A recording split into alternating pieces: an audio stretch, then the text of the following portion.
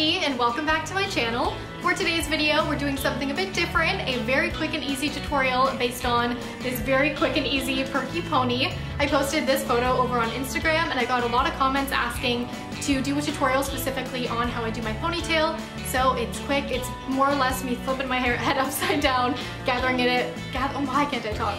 Gathering it with an elastic and then styling it. So I'll share some tips and tricks as well as some products that help me achieve this style. You might notice I am in a bit of a different location. I really wanted to show you my couch. I finally got a couch into my new apartment. I don't know how I'm gonna film videos and intros in this apartment yet. I'm still experimenting, but it's kind of cute. I like that pillow. And anyways, let's get started with this look. So here's a look at the makeup. If you're looking for something similar, I'd suggest the Sharon Tate from Once Upon a Time in Hollywood tutorial I did. So that's linked in the info button. And here's my natural hair. So I do have quite a bit of length, but it's pretty thin when I toss it up into a pony. So I'll show you all my hacks and I really use these tips like on the daily to make it look a little cuter. So after I've brushed it out, I like to add one or two three clip wefts of extensions. These ones are from Bellami and they are the pair I used in the Blue Lagoon tutorial. So they are more of a cool brown, which I like to mix into my hair because it's similar to my roots, and then the ends of my hair are a bit brassy right now, so I find it just neutralizes that. And how I clip them in is I divide a small section away and then clip them upwards. So they lay flat going up into a pony. And the lower on your head the more comfortable and easier these will be to hide as, as long as you've uh, sectioned a part off. That will go over top. And once you have brushed over you really won't feel them. You'll forget they're even there but it does add quite a bit of volume of course, extensions are completely optional. This style is super cute with thin hair. If your hair is a bit shorter too, it'll look adorable when you add some curl to the ends and it's easier because it will stay that way. So pros and cons to all hair thicknesses, but I've just put all my hair upside down combed and then I'm tightly gathering into a high ponytail with my hands at the very top of my head. I love this position because you can see the pony from straight on and with my face shape I prefer that because mine's so round and I like to still have hair framing my face. And how I get my pony to stay perky is either I'll add a thick scrunchie and I'll do this quite tight or I use a pony O. These are marketed to use by themselves without a hair tie, but I really like to use it after I've already used a hair tie. Um, you just place it around your hair and squeeze it flat, and then you bend the sides around the base of the pony, and it adds height to the ponytail and makes the base a lot thicker. I find my pony also really stays and is comfortable when I use the ponyo on top of the elastic, and I don't really like to gather my hair into a pony just using this product. I know a lot of people love it, um, but this is how it's worked for me. And the next tip for a cute pony is to take the end of a comb and insert it and pull upwards to get a bit more volume. And this step is great with getting those little bumps if you happen to have any going up into the pony. And I'm sorry, my scalp is really dry. You can probably see that, but just ignore it. And another step I do for my ponytail, um, I don't always do this. It's a little bit of a time consuming step, but if I am going to take photos, then I will add in a little bit of powder to my hairline just to fill it out on the right side because it is quite a bit thinner. You can see my pale scalp a bit more.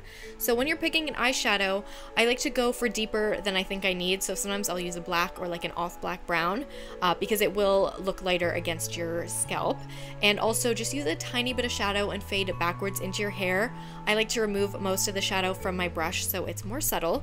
You can see I did a patch just directly onto the scalp right here and it doesn't work as well. So you want to blend out and applying too much will look kind of like a wig and very unnatural. So less is more and hopefully you can tell the difference when I just quickly added a bit of powder and you can actually leave this for a couple days if you don't wash your hair daily. So it's a great step to add a thicker look and then I'm going to add some hairspray for the flyaways.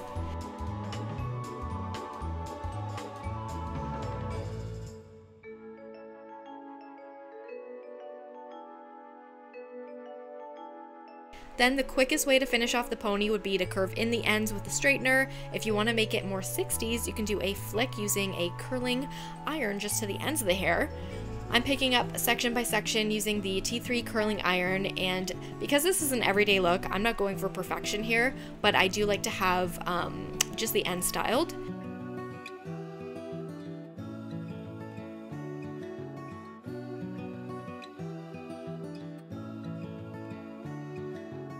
So I'm brushing out after I have curled upwards and I love to either wrap the base of the pony with hair or add a scrunchie over top of the base of the ponyo, or I'll use a ribbon. So today I went with a Chanel bow and I think it looks super cute with the 60s makeup and the white turtleneck.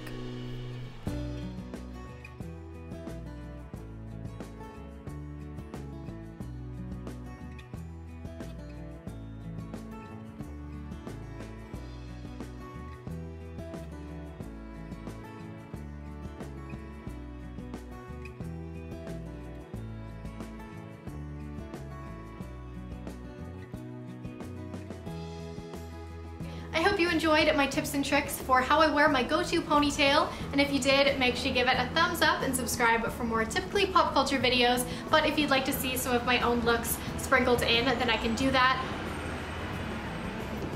So loud because they typically have a vintage vibe to them anyway and I like to put them under my vintage vibes playlist. Also, I'm in a very filming mood, so I'm going to continue this video over on my vlog channel. I do have a second channel where I post daily, oh, that's a lie, where I post whenever I go on a trip, I'll do a travel vlog, but I want to be posting more consistently on there, so I'm going to share a haul of some of the recent purchases that I've got from cute stuff like this bear to um, new fashion stuff. So uh, hope you all check that out as well. And thank you so much for tagging me over on Instagram. I love it when you guys try out a style and show it to me so I can feature you in my videos. Thanks again for watching and I'll see you in my next one.